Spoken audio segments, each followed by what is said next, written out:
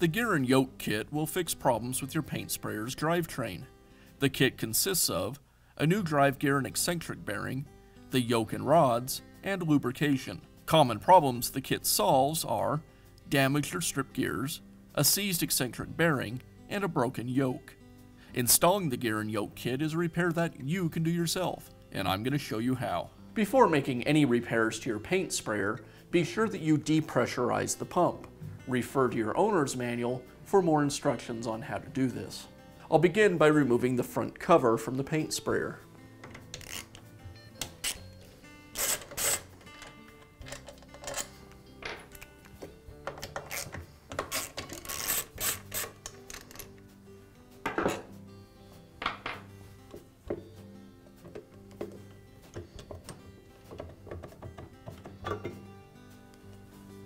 Next I'll remove the yoke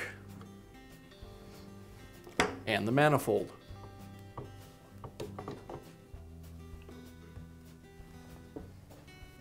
Now remove the two wires, one from the pressure control and one from the auto prime unit.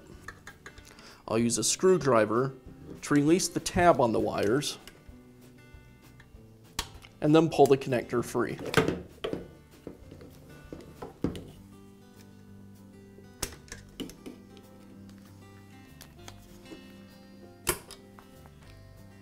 Now I can remove the gear and eccentric bearing.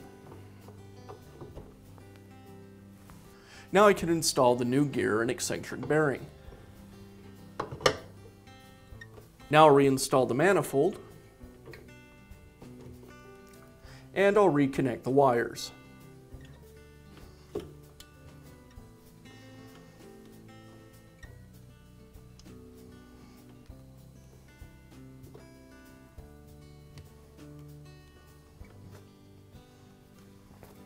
Now assemble the yoke rods onto the new yoke.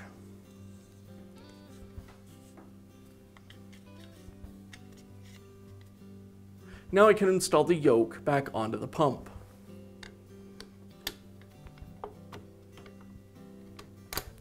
The yoke should wrap around the piston just beneath the head, and the rods install into the holders on either side.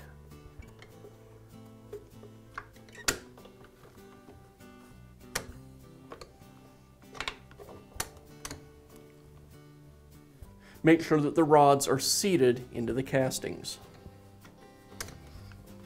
Now apply some new grease to all of the moving components.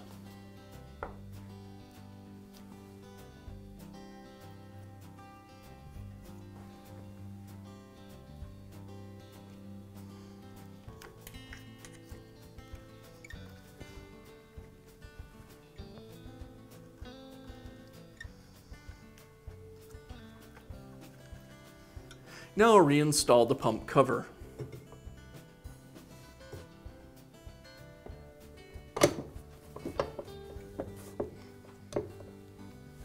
And I'll secure the cover with the screws.